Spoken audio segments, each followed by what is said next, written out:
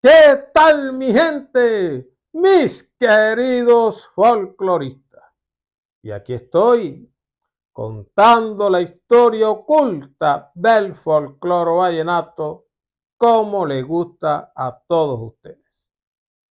Oiga, mis queridos folcloristas, ¿ustedes se acuerdan de esto? Esta vez me inspiro para cantarle Tremendo tramacazo, ¿no? Oiga, esta canción interpretada por el cacique de la Junta para mi fanaticada. Oiga, con el acordeón del gran Colacho Mendoza, ¿no? Oiga, este tema, un batazo. Le dio el nombre a este LP que ustedes ven aquí que fue grabado a finales de 1980. ¿no? Eh, este LP fue lanzado el 6 de diciembre de 1980. En esa época se grababan aún dos LP, uno en el primer semestre y el otro en el segundo semestre. Este se grabó en el segundo semestre en ese año 6 de diciembre, repito, fue su lanzamiento. Pero este LP guarda unos secretos, unos datos ocultos que ustedes no se alcanzan a imaginar que guarda este LP. Y yo se los voy a revelar aquí para que ustedes sepan lo que pasó con este LP tras bambalinas.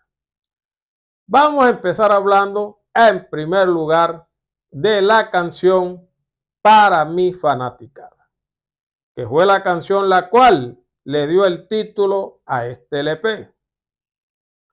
¿Por qué el cacique de la Junta compone esta canción? Ya se los voy a explicar. Resulta que él en ese año tuvo una presentación en Bogotá. Y resulta que eso era en la escuela de caballería.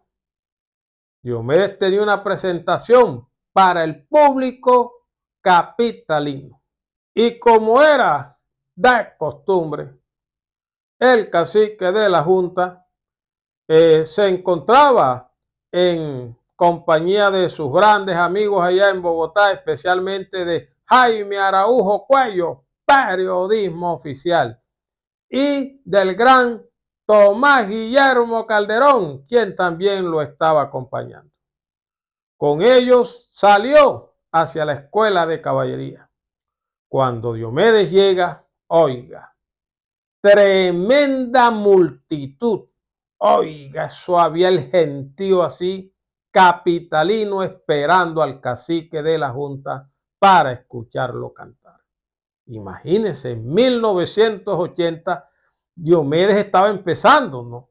Pero él no se imaginaba que tenía tantos seguidores en Bogotá. Él sí se había presentado en casetas, en negocios, en discotecas y en eso, pero no se había presentado a un evento público así. Y cuando él llega y él pensó de pronto que iba a encontrar el mismo público que, que encontraba de pronto en la caseta, que encontraba en las discotecas, en los eventos privados. No. Cuando el cacique vio esa multitud de gentes, se quedó sorprendido. Oye, el hombre se subió y le cantó a los capitalinos. Se bajó muy contento comentándole a Rubén Darío Araujo, comentándole a, Tomás Guillermo Calderón, lo sorprendido, ¿no? Eh, y lo agradecido que estaba con, ese público capitalino. Decidió componerle la canción.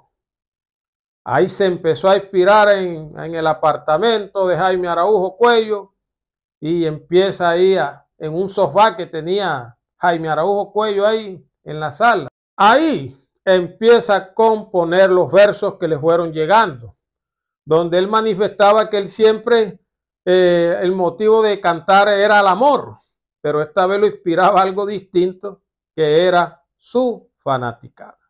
Y empieza a mencionar a las ciudades como Cartagena, Barranquilla, El Valle, Santa Marta, Rihuacha, ciudades de la costa. Pero dice, ahí especialmente le mando este mensaje a Bogotá, donde me he dado cuenta por lo que él vio ese día, que lo han recibido con confianza. Por eso especialmente menciona en el interior a Bogotá, porque es que él se vino sorprendido con ese tremendo público que estaba ese día esperándolo para escucharlo. Listo, deciden armar el LP. Bueno, como muchos de ustedes ya conocen, vinieron grandes canciones allí como Mi Casa Risueña. Ahí también vino la canción eh, Camino Largo de Gustavo Gutiérrez, La Juntera, también El Romancero y Mensaje de Navidad, entre otros que fueron los éxitos de ese LP. Bueno, Diomedes grabó el LP, le metió la voz al LP y listo, se estaba esperando todo. Entonces se decidió hacer algo. Diomedes quiso hacer algo. Como a principios de año el binomio de oro en Dime Pajarito había metido a un locutor, a un presentador de la época, Sadi Roja, oiga, el gran presentador de la Matecaña, ay, de fiesta por Colombia. Él era el presentador de esos eventos. Entonces le hizo la entrada ahí en Dime Pajarito, ¡Ey, Rafael! ¡Ey, Rafael! ¡Ey, Israel! ¡El binomio de oro! Y papá, y le hizo esa vaina tan bacana que eso es una novedad, una vaina que gustó. Y al cacique le, le quedó sonando la vaina. ¿Qué sucedió? Que aprovechó para mi fanaticada, hizo lo mismo. Llamó al recordado periodista que ya no está con nosotros, Hernando Perdomo Che, para que éste le hiciera la introducción. Y ahí empezó también el obra, el cacique de la Junta, Diomedes Don Lacho Mendoza, y esto que dice para mi fanaticada. Oiga, qué introducción tan bacana también se jalaron ahí, ¿no? Entonces, bueno, quedó la vaina bien montada. Resulta que ya el LP pues estaba armado, estaba ya cantado, todo, pero faltaba algo y era la carátula. Entonces, como el LP se iba a llamar para mi fanaticada, por obvias razones tenía que aparecer un público allí en la carátula, representando a la fanaticada de Diomedes. Pero resulta que se presentó un inconveniente para esa carátula. Diomedes las presentaciones que tenía eran de casetas, no un evento así, donde lo estaban contratando. Y resulta que el día que hubo ese evento, Nadie tomó una foto del equipo de Diomedes. De pronto sí la tomaron periodistas de la época o alguien sí tomó fotos, pero eh, no se sabía quién podía tener una foto del día de, del evento de la escuela de caballería. Entonces ahí se presentó ahí ese inconveniente. Entonces, ¿qué hacemos? ¿Y qué presentaciones tiene Diomedes, Juaco? No, tiene caseta, caseta, caseta, y el público de caseta no servía. No, presentación privada tampoco servía se necesitaba un evento público. Resulta que Juaco Guillén, su manager, estaba pendiente de la vaina y le dijeron que en Valledupar había un evento público, que una agrupación le iba a cantar gratis al pueblo de Valledupar. Inmediatamente Juaco llamó a Gabriel Muñoz y este le dijo, busque un fotógrafo, un reportero Mire cómo está el evento. Si hay una suficiente multitud, tome la foto y que nos manden los negativos. Bueno, listo. Juaco se dio la tarea de buscar el reportero y, preguntó ¿y quién se va a, a presentar en el evento? Adivinen quién iba a tocar. Nada más y nada menos que Rafael Orozco, el binomio de oro, oiga se iba a presentar el binomio. Y enseguida Juaco arrancó con el fotógrafo, con el reportero. Cuando llegaron, ya estaba cantando el binomio y había una multitud. a la plaza Alfonso López, eso estaba así llenita. Enseguida Juaco le dijo al reportero, hey, tú como el reportero te puedes meter, oíste, métete con tus credenciales, te subes a la tarima y le tomas la foto.